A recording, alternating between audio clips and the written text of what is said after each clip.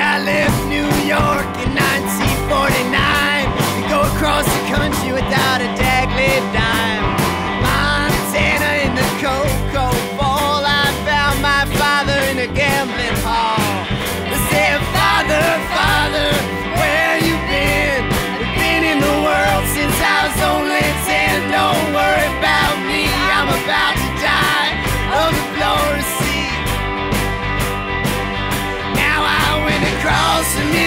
Big.